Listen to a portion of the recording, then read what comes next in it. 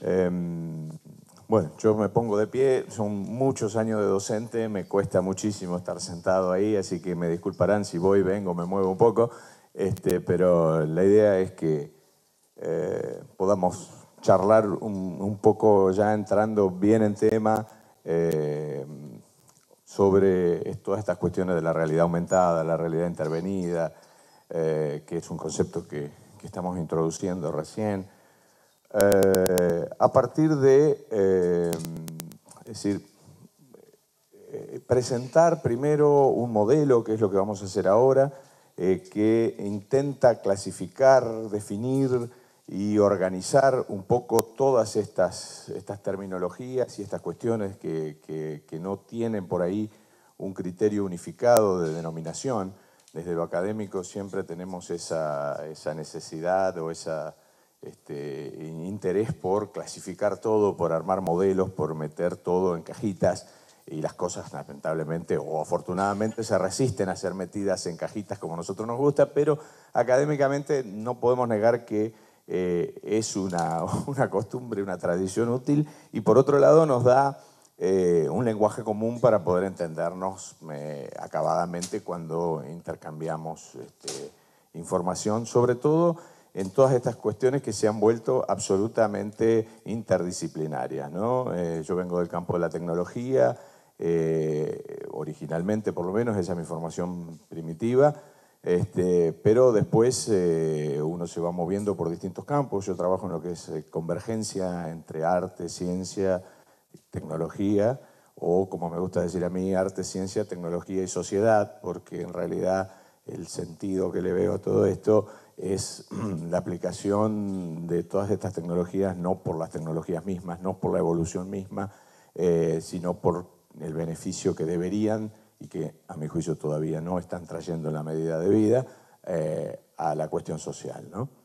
Eh, pero bueno, en ese camino estamos, en eso trabajamos y la idea ahora es ponernos un poquito más técnicos y tratar de entender este modelo que estamos proponiendo, simplemente como para que a partir de la presentación de eso y de tener un lenguaje común, podamos dedicar los últimos 15 minutos de, la charla a verlo desde el punto de vista del tratamiento de la información, de lo periodístico propiamente dicho y demás, de donde voy a contar con ustedes, que son los especialistas, este, a ver si podemos sacar alguna conclusión nueva, algún elemento que puedan aportar y que podamos este, discutir entre todos sobre el impacto que estas tecnologías están proponiendo, o mejor dicho, el impacto que se producirá a partir de lo que estas tecnologías están proponiendo y de las posibilidades técnicas que dan y de, este, desde todo punto de vista, como decía recién el rector, desde el punto de vista inclusive ontológico eh, y demás. ¿no?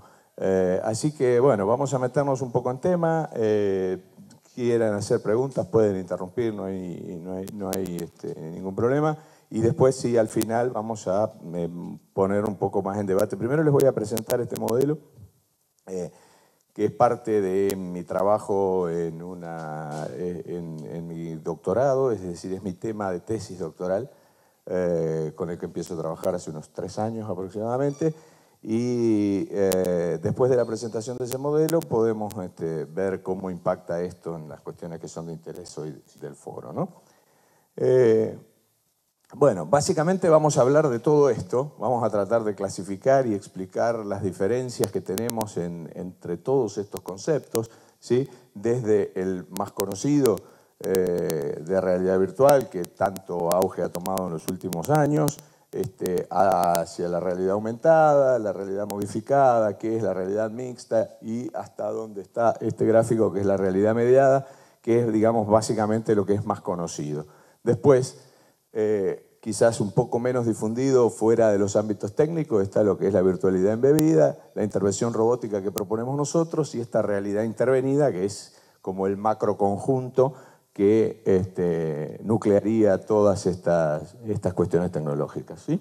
Así que eh, vamos a tratar de ir pasito a pasito eh, viendo qué entendemos por cada, por cada una de estas cosas. voy a dejar por acá un relojito, así no nos pasamos demasiado en beneficio de los oradores que vengan después. ¿sí? Este, Bueno, vamos a ir, recorriendo este, este, diagrama de Venn desde adentro hacia afuera, desde acá hacia afuera, y vamos a ir tratando de analizar cada, cada una de estas cosas. ¿sí? Algunas más conocidas nos vamos a detener menos, por supuesto. ¿sí? En primer lugar, vamos a hablar de lo que es la realidad virtual. Creo que ya a esta altura todo el mundo conoce este, alguna de estas formas y ha experimentado alguna de estas formas de realidad virtual. Si tenemos que definirla de alguna manera un poco más estricta, un poco más rigurosa, este, eh, entendemos por realidad virtual aquella eh, que, mm, en la cual los sentidos son absolutamente reemplazados por estímulos generados por un sistema virtual, por una computadora generalmente, en cualquiera de sus formas. ¿no? Digo, teléfonos, eh, tablets, todo ese tipo de dispositivos con una pantalla eh, o dispositivos dedicados, como puede ser el caso de Oculus Rift o algún que ahora después vamos a ver un poquito más en detalle. Es decir, eh, pero la idea de la realidad virtual, y esto es lo que la va a diferenciar de las otras formas de realidad intervenida que vamos a ver, eh, es que la realidad virtual, en la realidad virtual se busca el reemplazo completo de los estímulos sensoriales por estímulos sensoriales que son controlados por el sistema. Lo que uno ve, lo que uno oye, y eventualmente si se trata de algún simulador o lo que uno percibe físicamente, eh, son administrados completamente por el sistema y lo que vemos no existe en forma real. ¿sí? Eh, entonces, cuando hablamos de realidad virtual nos, nos, referimos exclusivamente a eso. Después vamos a ver qué eh, variaciones o alternativas nos presenta la realidad virtual hoy. Yéndonos un poco más afuera de ese, de, ese diagrama de Venn central que hablábamos, en el cuyo interior estaba la realidad virtual, tenemos las distintas formas de realidad aumentada o de realidad expandida, eh, la denominación es indistinta, ¿sí? que son aquellos sistemas donde hay una percepción directa del mundo real, es decir, lo vemos básicamente, la mayoría todavía de estas tecnologías, eh, la percepción está basada siempre en, en la visión.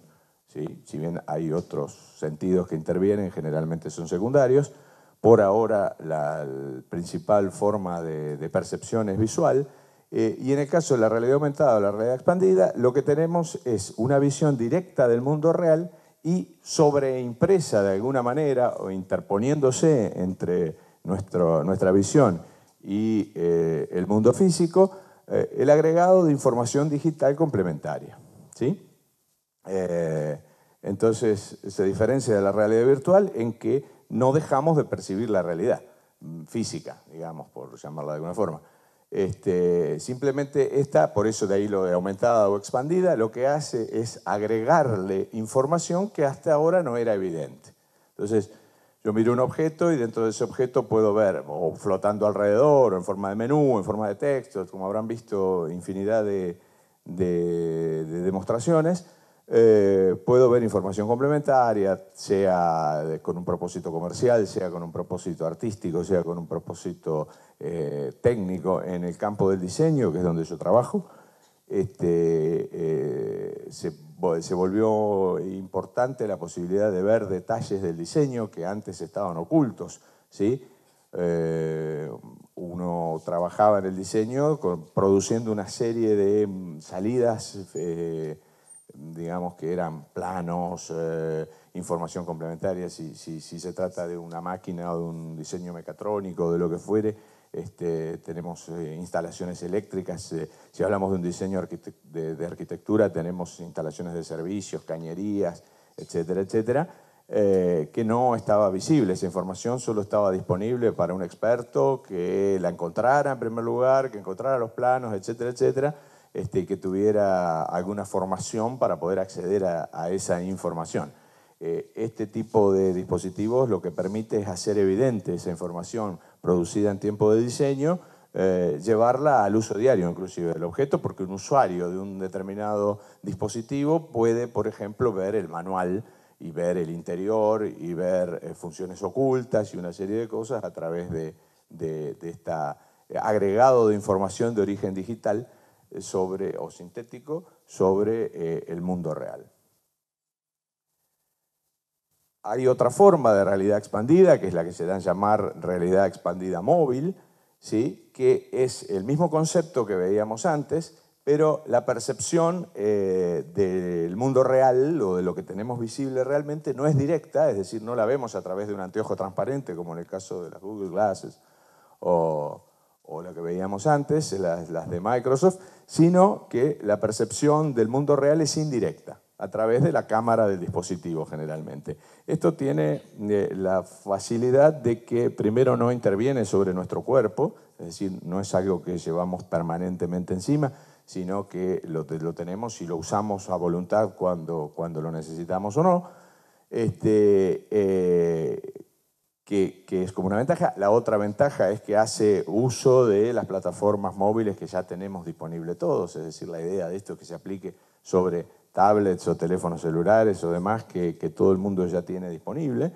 Este, y, pero el concepto sigue siendo el mismo, es decir, la visión del mundo real ya no directamente, sino a través del dispositivo y sobre la imagen en tiempo real que estamos viendo del mundo real, la sobreimpresión de eh, información digital eh, complementaria, como en el otro caso, pero sobre esa imagen en realidad que tenemos del mundo real. La más conocida, la más exitosa de las aplicaciones, una de las pocas que ha generado este, un impacto grande a nivel de difusión, es la del Pokémon Go el, dibujito este que eh, es un juego básicamente donde uno ve un, una determinada este, lugar físico, una plaza o alguna calle o un, un, negocio, lo que fuere, y sobre esto aparecen los personajes del juego este, que hay que ir atrapando, etcétera, etcétera. ¿sí? Eh, Bien, después, dentro de, ese esquema que habíamos visto, hablábamos eh, de un segundo diagrama de Venn que estaba al lado, que es la virtualidad aumentada. Esto es la integración en un entorno virtual, ¿sí? antes hablábamos siempre de entorno real, información virtual o personajes virtuales. En este caso es eh, justamente lo inverso, ¿no? es un mundo virtual en el cual eh, se incorporan personajes reales, generalmente en la forma del avatar, ¿no? Es decir, una representación gráfica, en realidad uno obviamente no, se introduce dentro de un mundo virtual, pero sí se introduce una imagen, un, un personaje, un avatar que eh, nos representa, eh, a tal punto que ahí aparecen estas cuestiones ontológicas que se mencionaban hasta ahora, la gente suele hablar en primera persona de eh, lo que le sucede al personaje. Me cayó tal cosa, me golpeó esta otra, no pude hacer tal, tal otra. Es decir, eh, hay una, mm, eh, una adopción de ese personaje como el yo propio este, y la inserción de, absoluta, digamos, desde el punto de vista cognitivo, de el, eh, del jugador o del, o, del, interactor. Hay muchas palabras para designar a la persona que interactúa con un sistema, con un sistema de estas características. Eh, generalmente cada una se toma de la industria de la que se trate eh, el proyecto en cuestión. ¿sí? Si se habla de, videojuegos, se habla del jugador. Si se habla de, algún, este, de alguna experiencia de tipo multimedial o transmedial, este, se hablará del espectador o, del usuario eventualmente. ¿no? Pero la idea es que ese personaje eh, real se incorpora dentro de un mundo virtual y todas las cosas que le suceden en esa virtualidad las experimenta como, como propias. Eh, el mundo de los simuladores este, eh, está entre medio de los dos. ¿no? El mundo de los simuladores en algún caso hay aplicaciones que son de realidad aumentada, de realidad expandida, y en otros muchos eh, es de casos de virtualidad aumentada.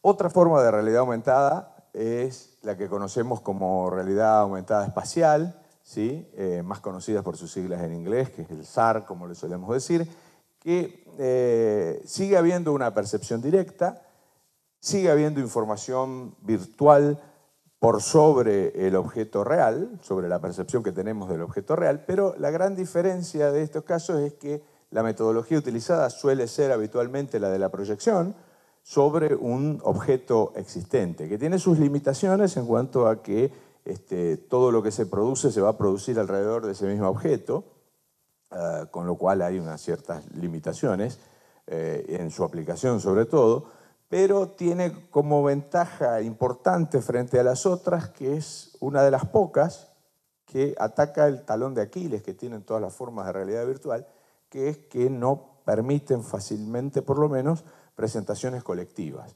¿sí? Eh, en todas las formas de realidad virtual, de realidad aumentada, etcétera, generalmente se habla de una relación de uno a uno entre eh, eh, el media del que se trate y el espectador. Entonces todos los, todos los dispositivos, todas las formas de exhibición y demás están pensadas para esa relación de uno a uno, que resulta una limitante, sobre todo si la comparamos con el cine, con, otro tipo de experiencias colectivas. ¿no? Esta es una de las pocas que permite eh, una forma de experiencia colectiva. Es decir, tenemos un grupo de gente grande, este, de gran cantidad, eh, que pueden estar percibiendo simultáneamente todo lo mismo. Eh, y no implica el uso de ningún dispositivo propio corporal, ni agregado, ni protésico, ni cosas por el estilo. Eh, la desventaja, como decíamos, es que el objeto termina, digamos, no se puede desarrollar una historia o la historia que se puede desarrollar sobre este, sobre este objeto generalmente es una historia muy simple, muy limitada, porque el objeto inanimado eh, no da demasiadas posibilidades y entonces sirve más para aplicaciones comerciales, como es el caso en este que estamos viendo acá, donde en el mismo vehículo uno puede ver el interior, donde uno puede ver distintos colores, etcétera, etcétera. Si hablamos de objetos diseñados ad hoc para la experiencia, o como vamos a ver después, eh, algún objeto que pueda adaptar, adaptarse morfológicamente a, la interacción con la proyección, eh, expandimos un poco esa posibilidad. Eh, esta es la clasificación que existía hasta, hasta este momento, es una clasificación que ya tiene más de casi 20 años, eh, que se ha popularizado, eh, que es la de, la de Quillino, donde este, define a la realidad mixta como un continuum que va desde el entorno real hacia el entorno virtual. Es decir, en esta punta estaría la realidad tal cual la vemos diariamente y en la otra punta estaría la virtualidad absoluta, la realidad virtual, que era lo que se conocía al momento de hacer esta clasificación, y la realidad mixta es cualquier punto de ese continuum de una punta a la otra. ¿eh? En, este, mm, en el momento de esta clasificación no había demasiadas posibilidades de realidad aumentada, entonces este, eh, bastaba con esa clasificación lineal. Eso es lo que nosotros tuvimos que llevar a una clasificación bidimensional para poder hacer intervenir estos otros nuevos factores, sobre todo lo que es la virtualidad este, embebida y eh, ahora eh, vamos a ir a, ver eso. Es decir, hasta ese momento estábamos acá, llevado a 2D, esto sería eh, el, modelo de todo lo que vimos hasta ahora, ¿no? la, realidad, la, realidad virtual, la realidad aumentada o la realidad mixta, en general hablamos de realidad modulada, que fue un término que apareció por aquellos años, que es eh, aquellas en donde la intervención era aumentar o disminuir la realidad, modificarla de alguna forma, intervenirla de alguna forma, siempre, siempre con una proyección o siempre con una cosa visual. Este, y como único término generalizado se propuso en algún momento hablar de realidad mediada, que es un término bastante apropiado a mi juicio. Este, es decir, eh, la realidad en la cual la percepción de alguna manera es influida por eh, algún medio tecnológico. ¿Sí? Eh, sobre lo que es realidad virtual propiamente dicha, o sea, sistemas de inmersión total, donde, donde, la, este, mm, donde la percepción de nuestros sentidos está reemplazada completamente por eh, los estímulos generados por, por el sistema, lo más común es encontrar esto y me parece interesante por ahí hacer algunas diferenciaciones que la mayoría conoce, pero a veces no todo el mundo tiene, tiene muy presente. Es decir, siempre hablamos de algún tipo de gafa estereoscópica que nos permite una visión tridimensional, interactuando simultáneamente con los dos ojos, logrando la tridimensionalidad de esa manera. Eh, y dentro de ese esquema podemos encontrar dos grandes líneas, o diríamos tres, porque eh, en realidad son dos porque algunas de estas son comunes, es decir, un dispositivo como este y un dispositivo como este son idénticos en su funcionalidad, eh, nada más que uno está bien terminado y producido con un costo mayor y algunos de estos dispositivos son muy básicos, hechos de cartón, con lentes plásticas, etcétera, etcétera, y de muy bajo costo, pero esencialmente son lo mismo. Es decir, se trata de un, de un dispositivo en el cual uno incorpora una pantalla portátil, generalmente la de un teléfono celular, y eh, un software que corre sobre ese teléfono celular y que genera el contenido, sea descargándolo, sea reproduciendo un contenido previamente grabado, o sea con un nivel de eh, interactividad que se puede clasificar como mínimo. Es decir, la limitante que tienen estos sistemas es eh, la poca capacidad de procesamiento en tiempo real que tienen los dispositivos móviles. Si bien ha aumentado en forma exponencial en los últimos años, sigue siendo muy poca, sobre todo lo que es velocidad en el tratamiento de imágenes tridimensionales, sigue siendo muy baja con respecto a los de un equipo de escritorio un equipo de mesa. Este, la ventaja clara que tienen es el bajísimo costo, esto es prácticamente gratuito. Ahora van a ver cuando hablamos un poco de qué están haciendo los nuevos medios o, los grandes medios con, estos nuevos, con estas nuevas formas. Eh, New York Times distribuyó más de un millón de gafas de estas de cartón. Eh, hay infinidad de recursos para que la gente las pueda producir por sí mismas en su casa con un cartón de caja de zapatos eh, y muchísimas marcas las entregan en forma promocional. ¿sí? Eh, son dispositivos bastante limitados, reducidos a la capacidad que tenga el teléfono básicamente de, de gestionar el software pero el costo es ínfimo, considerando, por supuesto, que el costo del teléfono ya está amortizado, que la persona que lo utiliza ya tiene su propio teléfono. Obviamente, si no, el costo sería muy distinto. ¿sí? Y dentro de lo que son estos sistemas de, gafas tridimensionales, tenemos otras como eh, las de Oculus o las de HTC, la Vive particularmente, que son dispositivos que sí tienen su propia pantalla en el interior, ya no dependen de que insertemos un teléfono móvil, sino que tienen dos pantallitas adentro de muy alta resolución en algún caso, eh, y que se conectan a una computadora que puede ser tan grande como uno quiera. ¿sí? Eh, la diferencia de esto es que eh, la calidad de las imágenes que se pueden generar es muchísimo más alta, la, sensación de presencia es muchísimo más alta y el nivel de interactividad y la velocidad de respuesta es de tiempo real.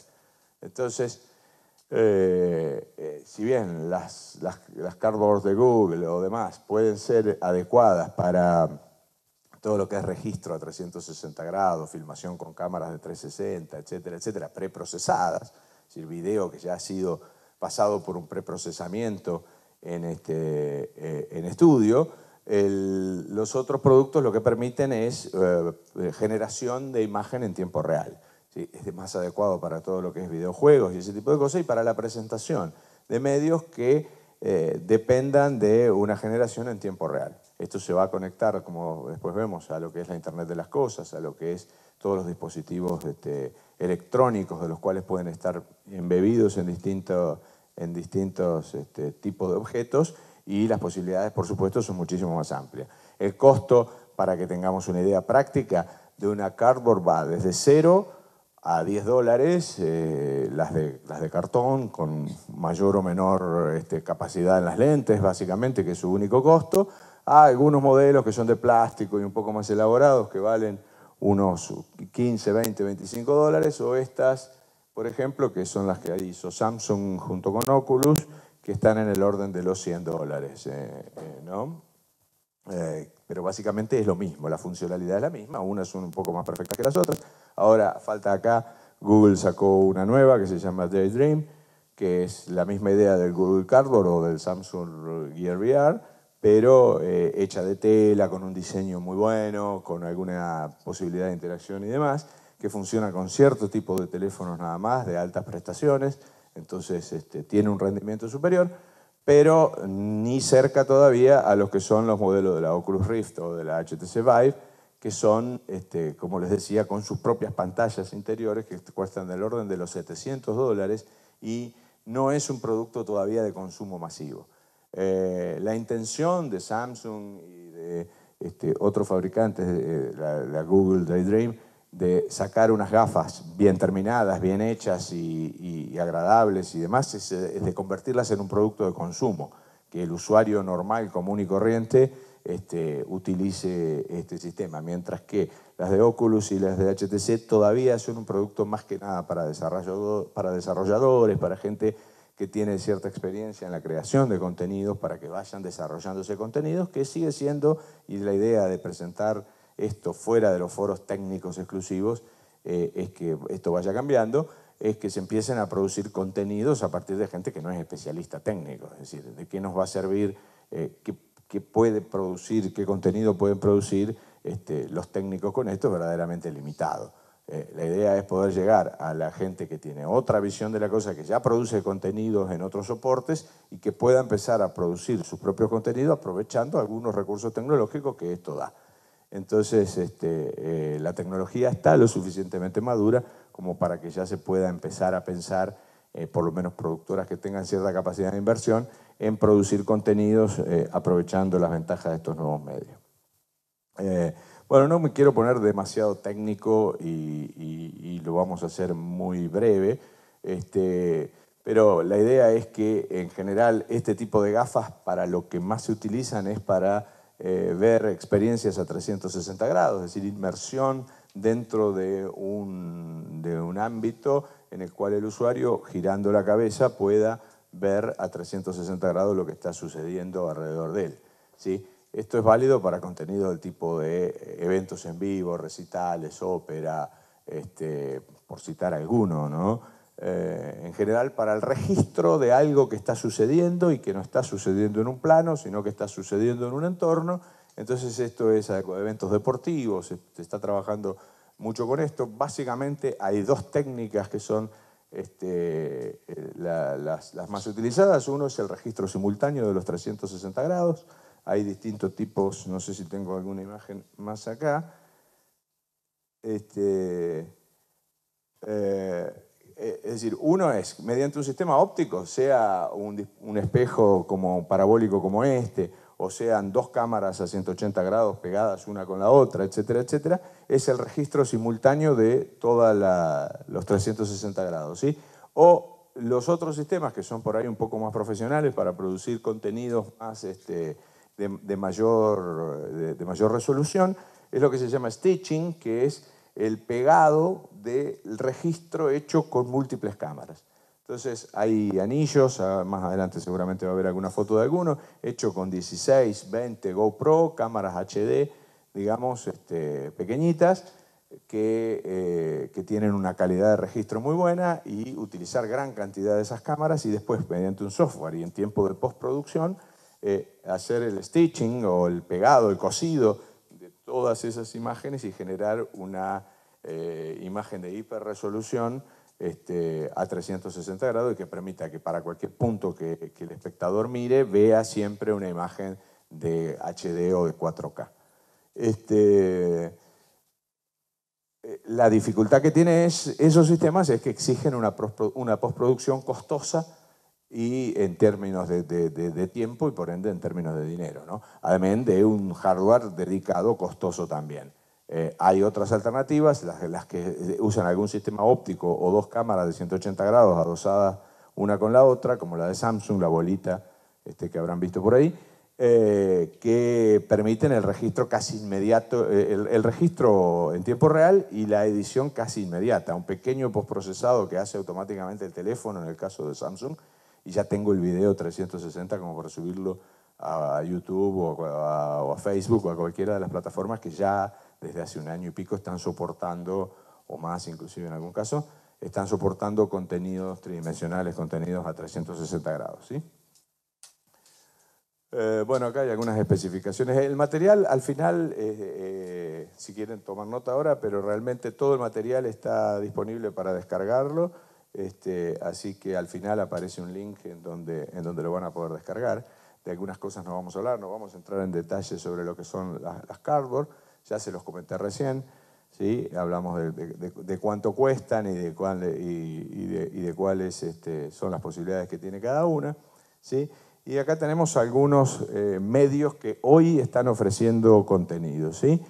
Eh, lo que tenemos arriba, básicamente, eh, es la plataforma Steam, que es una conocida plataforma de distribución de videojuegos, tiene enorme cantidad de contenido. Eh, Vertify es una empresa argentina que, ha logrado posicionarse en Estados Unidos muy bien y que lo que hace es registro de eventos musicales, básicamente, videos y demás, a 360 grados. Eh, bueno, YouTube que permite subir automáticamente, YouTube y, Facebook, ¿no? Los dos permiten subir eh, automáticamente estos contenidos a, su red. Y Street View, que hoy nos da la alternativa ya con cualquier dispositivo móvil de entrar y tener este, estas imágenes a 360 grados de casi todo el mundo, lo cual es verdaderamente eh, unas posibilidades bastante, bastante importantes. En Argentina, contenidos disponibles más o menos importantes, hay infinidad de contenidos pequeños, de cosas experimentales y demás, pero intentos más o menos permanentes.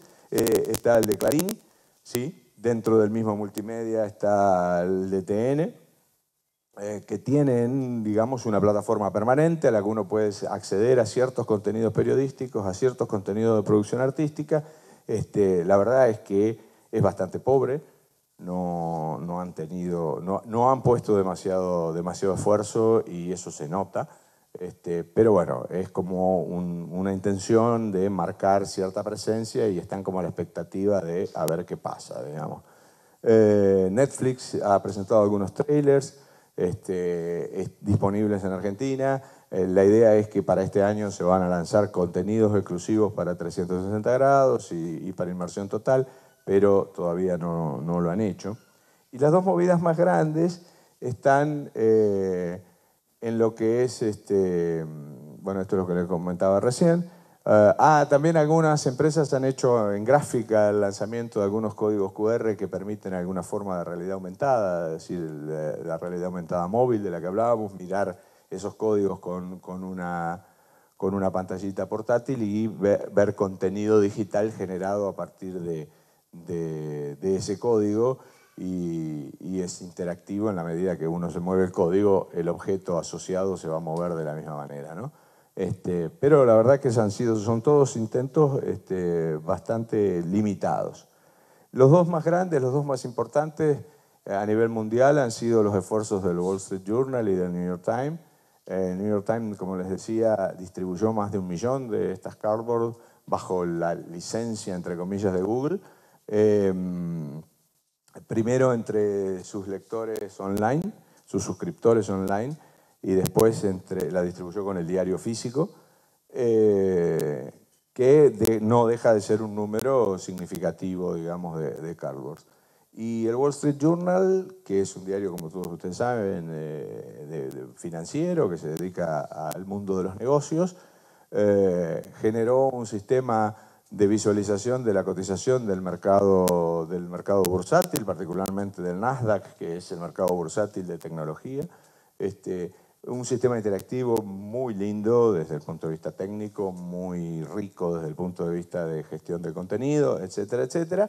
Y importante porque marca cierta intencionalidad o, eh, digamos, se supone que el Wall Street Journal es un faro este, de las intenciones de los mercados financieros. ¿no? Entonces dice, si, decide invertir en un determinado campo es como una señal este, parecida a la que ha dado en su momento Facebook con la compra de Oculus, de Oculus Rift y de Oculus en particular, de toda la firma, este, que representó una cifra multimillonaria en dólares y que más que a nosotros no nos interesa demasiado cuánta guita gaste Facebook, sí revela por ahí una visualización del mercado de lo que se supone son los, que, los expertos. Em, particularmente, eh, el elemento que nosotros creemos que no se está teniendo en cuenta, y es lo que a mí me gustaría poner a discutir eh, con ustedes en los 15 minutos últimos de la charla que están dedicadas a, las preguntas, es eh, ninguno de estos sistemas de alguna forma está previendo todavía la incorporación de data generada por el usuario. ¿sí? Eh, ya que todos estos dispositivos se basan en, em, eh, en alguna clase de, computadora ¿sí? portátil por lo general, eh, no están haciendo el uso que, parece presumible, razonable hacer, de la data generada por el usuario.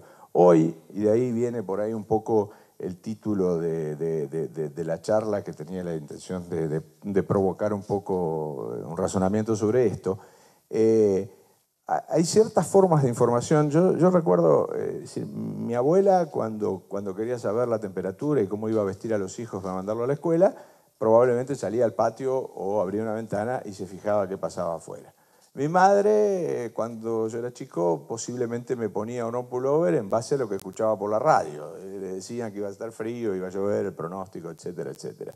Eh, mis hijos han ido a la escuela vestidos como decía la televisión, ¿no? Uno ponía a las 7 de la mañana el noticiero y en base a eso este, también. Siempre era mediada por algún generador de contenido, alguien, servicio meteorológico, lo que sea, que se ocupaba de pasarle la información y había un periodista que nos la daba. Eh, hoy ya nadie hace eso, todos ni miramos por la ventana, ni miramos la tele, lo que hacemos, lo primero que hacemos la mañana antes de salir de la cama es ver el pronóstico del tiempo ahí en la pantalla principal de nuestro celular. También teníamos, este, todavía quedan en la televisión, pero ya nadie le da mucha bolilla, este, el que nos decía, porque, sobre todo en Buenos Aires, donde es un tema, acá en Rosario, por suerte, no sucedido, eh, el tema del tráfico. En Buenos Aires es muy importante, antes de salir de su casa, saber por dónde va a ir uno, a dónde tiene que ir, porque cortes, piquetes, accidentes de tránsito, tráfico, etcétera, etcétera, eh, hacen toda una decisión de ingeniería. El camino que uno va a tomar, sobre todo si vive en las afueras, para ir al centro, ¿no? Este, y bueno, había periodistas especializados, muy conocidos, dando la información del tránsito. Ahora lo siguen haciendo, pero casi que lo único que hacen es poner Waze ahí en la pantalla de la tele y, este, y mostrar lo mismo que nosotros vemos ya cuando estamos directamente adentro del auto, ¿sí? o Google Maps o, o demás. Entonces, eh, van a desaparecer claramente eso como, como contenidos periodísticos que ocupaban gran parte de la mañana. ¿sí? Este, y este fenómeno sucede, eh, se basa en lo que generalmente se denomina crowd data, es decir, el dato generado involuntariamente por la multitud. El gasto, los sistemas de tránsito que nos muestran la niñita rojita o, anaranjadita o, o más verde según el tránsito que hay, los sistemas lo hacen exclusivamente con la data que tienen de todos los usuarios que simultáneamente están conectados y eso les da una medición estadística del tránsito que hay en cada tramo. Y como además tienen un GPS que le va diciendo cuál es la velocidad de desplazamiento de cada uno de esos usuarios, un pequeño algoritmo les permite calcular qué tan atascado está el tránsito en determinados tramos y cuánto vamos a demorar en llegar, que es lo que a nosotros nos interesa. Y entonces quita del medio la mediación, la, interposición que hasta el momento hacía de algún tipo de periodismo especializado. Y esto es una tendencia que se va a empezar a reproducir en otros términos, en lo que es inversiones, en lo que es tendencias políticas, en lo que son las encuestas de las elecciones. Es decir, hay infinidad de casos en donde el crowd data este, va, a, superar o a, sobreponerse sobre información este, de procesamiento que antes estaba a cargo de un periodista especializado. Entonces, la integración de eso, eh, más de generación de contenidos, esto ya, lo dijimos, pero bueno, me quedó, me quedó pendiente la, fotografía. ¿no? Esta, es la, esta camarita hace un registro de 360 grados, acá hubo un, desorden evidentemente entre, entre los slides. Eh, esta camarita de Samsung lo que tiene son dos, dos, pantallas a 180 grados que permiten registrar simultáneamente de cámaras este, GoPro eh, que se produce después el contenido a partir de stitching. Esto ya se los dije, pero bueno, ahora que apareció el slide, se lo muestro. El stitching es esto, es decir, eh, distinto tipo de software que lo que permiten es coser y pegar o cortar y pegar, construir la imagen panorámica a 360 grados. Este, esto está accesible para ustedes, digamos, a quien le interese producir alguna clase de estos contenidos, estas herramientas están disponibles, se pueden descargar, algunas gratis, otras tienen versiones gratis limitadas, etcétera, etcétera. Empezar a experimentar, se consiguen versiones este, craqueadas, eh, pero la idea es que cualquiera con muy pocos recursos hoy puede empezar a producir este tipo de contenidos. Eh, ¿sí? Bueno, estas son las plataformas más profesionales, que también son de descarga gratuita, pero que permiten producir contenidos para ese otro tipo de gafas de las que hablábamos, como la HTC Vive o, la, este, em, las, de, las de Oculus Rift, ¿sí? Eh, que ya son entornos más parecidos a lo que son de creación de mundos virtuales y de videojuegos. ¿no? Este, y, y acá este, dispositivos sensibles al contexto, los dispositivos que pueden llegar a darse cuenta de dónde están y de cómo eh, interactúan con los objetos que tienen alrededor, ¿no? Y que esto abona esta cuestión del crowd data del que hablábamos antes. Eh, el elemento que, falta que faltaba hasta este momento era el elemento posicional ¿sí? hasta hace dos años, les diría, dos años y medio, tres, que se empiezan a popularizar estas nuevas tecnologías que les voy a mostrar ahora. Eh, lo único que había para el posicionamiento era un sistema de posicionamiento global, como puede ser el, GPS, ¿sí? Eh, o a lo sumo eh, la utilización de las redes de Wi-Fi que de acuerdo al router en que cada uno se encuentra conectado en ese momento, me da un posicionamiento aproximado de dónde se encuentra este, cada una de las personas y a partir de ahí se puede generar una cierta conducta de masa. Eh, lo que aparece como, recurso novedoso son lo que se llama este, NFC o redes eh, de muy corta distancia.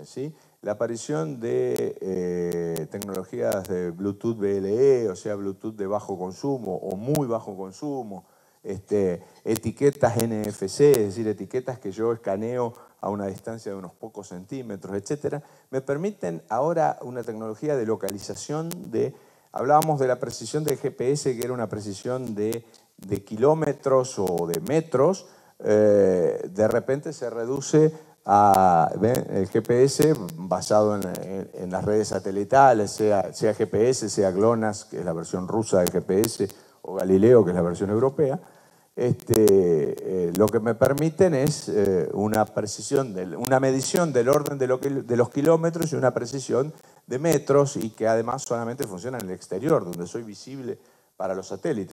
Por dicho, donde los satélites son visibles, funciona la tecnología. ¿no?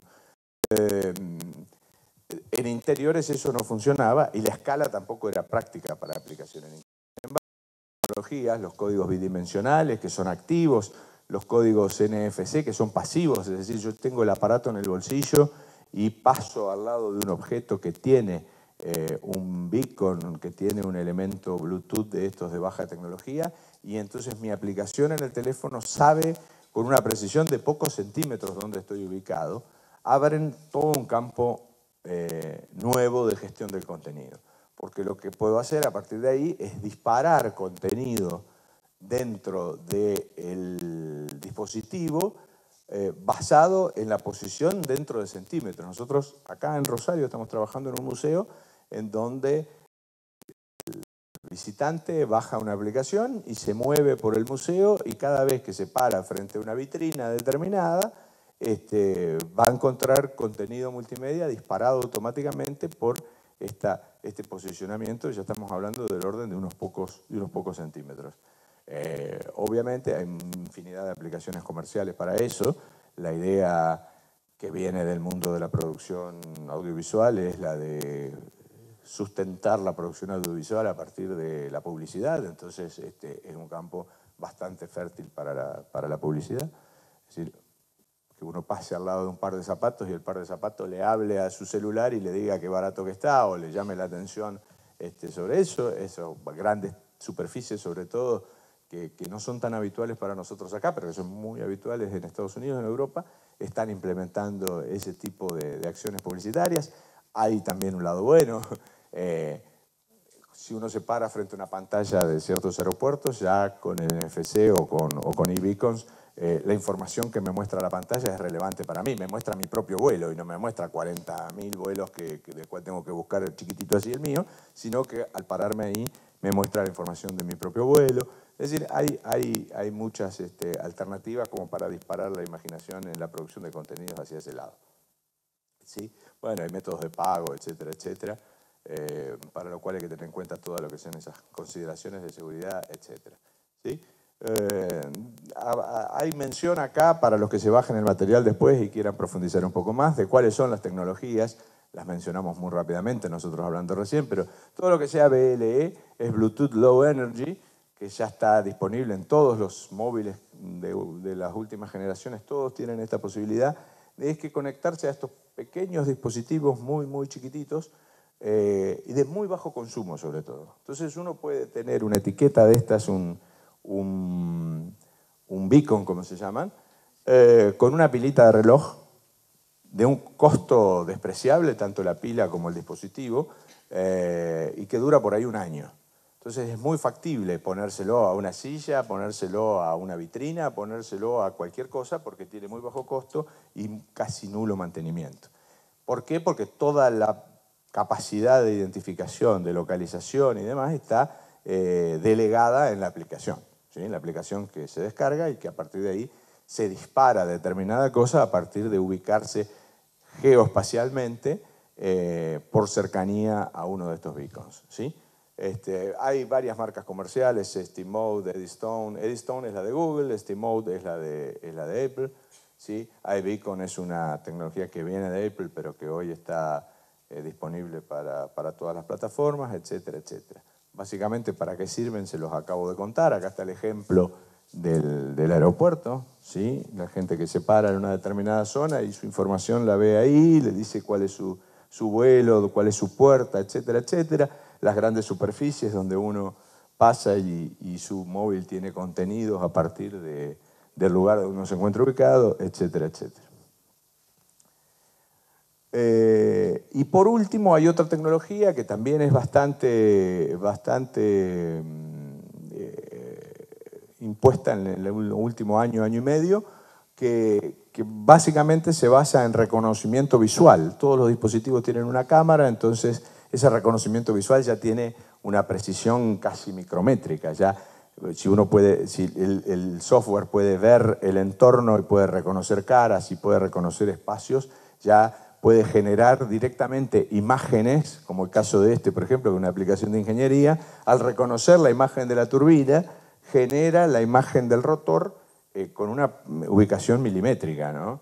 Este, que bueno, es eh, nada, la idea sigue siendo la misma, lo que va aumentando es el nivel de precisión. Vinimos del GPS, pasamos al Wi-Fi, pasamos al Bluetooth, pasamos al Bluetooth Low Energy, pasamos al reconocimiento, a los NFC y el reconocimiento de imágenes. Entonces pasamos de una escala de precisión de metros y escala de kilómetros a precisión de milímetros y escala de milímetros también. Eh, y por último, eh, pero no menos importante, quizás el concepto más importante de todos que me interesa que, ustedes empiecen a pensar eh, como, disponible, es la virtualidad embebida.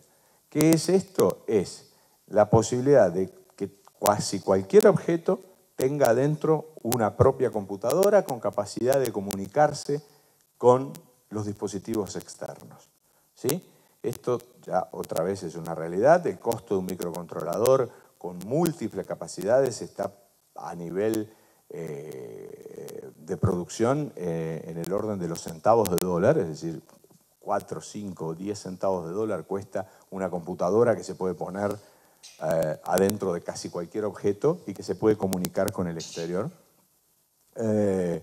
que es lo que va a disparar. Eh, el concepto viene de, los sistemas embebidos, viene del año 91, de un, de un, artículo que les recomiendo muchísimo leer, que es de Mark Weiser también un tipo sumamente interesante, con proyectos sumamente interesantes, ha inventado casi todo lo que nosotros atribuimos a, Steve Jobs o Bill Gates y creemos que lo inventó él. Eh, en realidad fue inventado por Mark Weiser y su laboratorio, que era el PARC, el Palo Alto Research Center, inventó el mouse, inventó la interfaz. Vieron que hay todo un mito urbano que dice que este, Microsoft le copió este, la idea a Steve Jobs del sistema de ventanas, menúes, iconos, etcétera, etcétera. Bueno, todo eso es un mito, en realidad que lo inventó y del cual se copiaron tanto Steve Jobs como, como Bill Gates, es, este, es Mark Racer. Eh, y predijo, entre otras múltiples cosas, además de inventar el mouse, de inventar la interfaz WIMP, que es esta eh, ventana, icono, menú, eh, puntero, que es la que, la que usamos todos los días, este, la inventaron ahí en el año 90. Eh, y predijo, entre otras cosas, estas tres escalas de, modelo de computación eh, que, iban, iba a haber en el futuro. Y todo eso está escrito en ese artículo que, se publicó en Scientific American en el año 91, un artículo de dos páginas, donde está escrito absolutamente todo esto, pareciera que realmente tipo veía el futuro, este, donde dice que, va a haber tres escalas de dispositivos, una escala que él describe como de mano, que es esta, eh, una escala que él escribe como escritorio, que es esta o la de la PC, y una escala que la que él describe como de reunión o de meeting, que es esa. ¿sí? Este, y que esas tres escalas van a permanecer, que la gente las va a utilizar en, la medida que sea práctico cada una de ellas, y que todas van a estar interconectadas en una única red. Y que a su vez eh, la tendencia va a ser a que todos los objetos tengan su propia eh, virtualidad embebida, es decir, tengan su propia capacidad de procesamiento, su propio software dentro de una computadora, dentro del objeto. Eso hoy recién se está convirtiendo en una realidad factible este, y, y Beiser lo, produjo, lo, predijo en el año 91. ¿Sí? Eh, esto es lo que da lugar a lo que se da en llamar la Internet de las cosas, es decir, el hecho de que todos los objetos puedan estar interconectados y esto es lo que abona este concepto de la, este, de la inteligencia colectiva, de la inteligencia de masas y la generación de contenidos de interés ya a partir de los objetos propiamente dicho de la ubicación física y del desplazamiento nuestro dentro del mundo real eh, conectado a todos esos objetos. El desafío, creo, para quienes tratemos de generar contenidos de estilo más tradicional, digamos, es poder hacer una lectura de, eso y, eh, y, poder generar nuestros contenidos eh, utilizando los recursos que esta plataforma nos da. Eh, dentro de esto, y esto ya es un poco más relacionado con el trabajo que nosotros estamos haciendo, el último concepto que quiero mencionarles es el de la intervención robótica, es decir, hablábamos de estos cuerpos que tienen la posibilidad de tener computadoras adentro, inteligencia, inteligencia grupal, etcétera, etcétera, eh, lo que queda es la posibilidad de adaptación morfológica. Es decir, estos objetos eh, ya son móviles y ya tienen inteligencia, ya estamos hablando de robots, ¿sí? particularmente los autos que se manejan solos pertenecen a este campo, y los objetos que se puedan adaptar morfológicamente al entorno y a la interacción con el usuario y a la interfaz que le presentan al usuario son de sumo interés particularmente para los que estamos en la cuestión del diseño, ¿no? Este, diseño industrial, diseño de objetos, etcétera, etcétera. Eh, lo que nosotros proponemos es, acá hay algunos links que ustedes pueden seguir con más tiempo y ver proyectos en donde se trabaja con intervención robótica, es decir, con objetos que eh, estos son proyectos del laboratorio nuestro, donde hay objetos que adaptan su forma a lo que está sucediendo afuera. Entonces los usamos como plataforma para proyecciones tridimensionales, para este, realidad aumentada espacial y eh, interactuamos con la proyección de elementos visuales. Básicamente nosotros lo hacemos mucho con un propósito artístico, pero es nuestro sesgo, pero en realidad se puede hacer con otro tipo de propósitos. Eh, tenemos un dispositivo como este, que es una superficie que puede adaptarse este,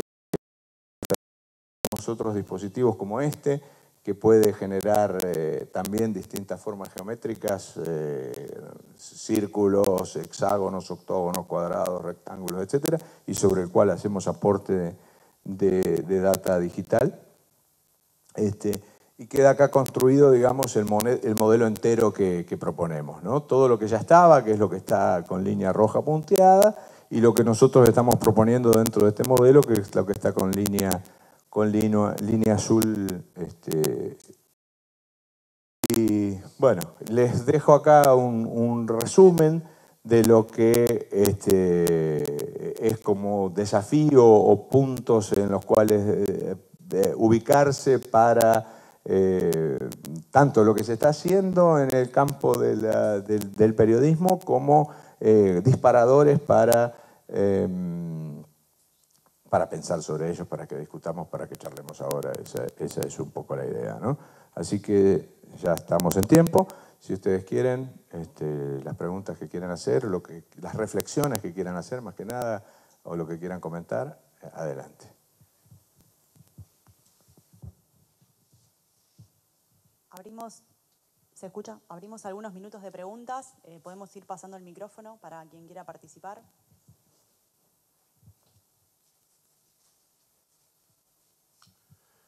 Felicitaciones, profesor, lo primero.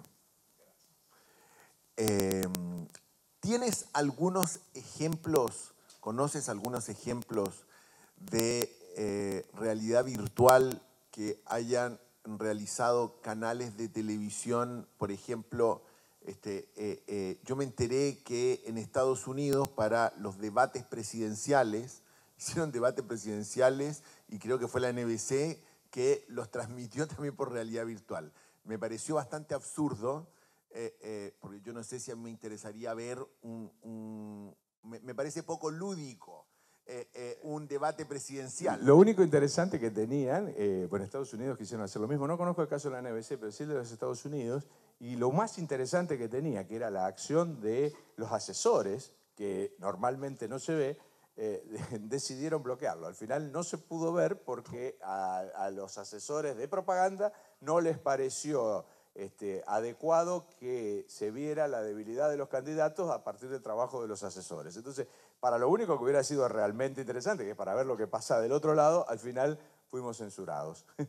Claro, pero eh, eh, por lo mismo, ¿tienes algunos ejemplos así que hayan funcionado bien eh, internacionalmente? Porque fuiste un poquito peyorativo con los nacionales. Sí, sí, no, es que, es que realmente, en realidad, ejemplos de donde eh, hubo varios intentos. Eh, los que mejor funcionaron fueron los eventos deportivos, funcionó en, las Olimpiadas, hubo un canal permanente de, visión a 360 grados que bueno, estaba gestionado no sé bien por quién, entonces eh, había como un cierto cariz político dado a mostrar solo lo, que era conveniente políticamente pero, eh, pero eso funcionó muy bien. Eh, los intentos, fui peyorativo eh, y si sucedió eso fue totalmente mi intención con los medios locales porque están sostenidos por un solo grupo y no tiene la intención, digamos, de, producir contenidos serios, lo, que ha hecho, no sé si han tenido oportunidad de verlo, todavía se puede ver, TN con con lo de la Revolución de Mayo da vergüenza ajena casi verlo, porque es un contenido de bajísima resolución, eh, cero interés periodístico, o sea, eh, una porquería, la verdad. Este, eh, pero bueno, es un intento, digamos, y por eso yo lo traigo, y que todo el mundo lo vea y juzgue y vea si, es, si no es bastante fácil hacer algo mucho mejor para quien tiene los recursos que, podían haber puesto. ¿no? Creo que, lo hicieron más como un experimento y como una idea de dar cierta presencia en un ámbito que todavía pareciera ser que no les interesa. Pero si la sensación es de que todavía no hay intentos serios, y lamentablemente la sensación no es una sensación, sino que es una realidad, eh, no hay intentos demasiado serios de producir contenidos a gran escala. Básicamente porque el target que les interesa a los grandes medios es el de miles y miles de usuarios y eso no está disponible. O sea, no hay una plataforma instalada de recursos de hardware para que cientos de miles de personas, como le puede interesar a la BBC, este, accedan a esos contenidos. Entonces el esfuerzo de producción que se pone está acorde al tamaño de mercado, como lo llamarían ellos.